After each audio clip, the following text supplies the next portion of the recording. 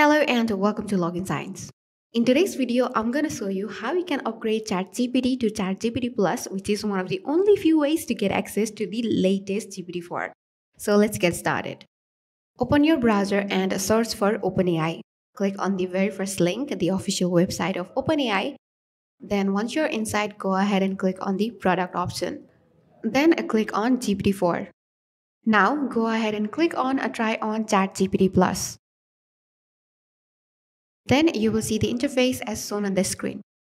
Well, this is one way to get here. The other way is to just open your browser and go to chat.openai.com.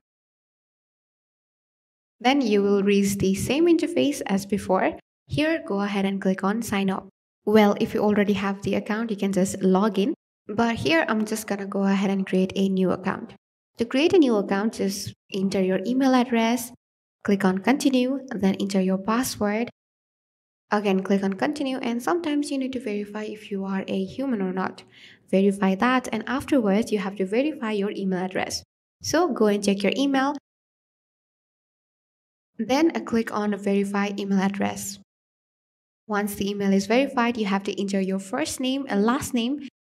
Then you have to verify your phone number. Just enter your phone number and click on send code. Once you have received that code, enter it. And now you have created your ChatGPT account. Now on the left side, you can see upgrade to plus option. Go ahead and click on it. Then click on upgrade plus option. Now you have to enter your contact and payment informations. Enter your email, your card information, name on the card, billing address, and finally, agree with the terms of use and then click on subscribe. And voila, your account has been successfully upgraded to ChatGPT Plus and now you can click on continue, then start using the ChatGPT Plus or try GPT-4.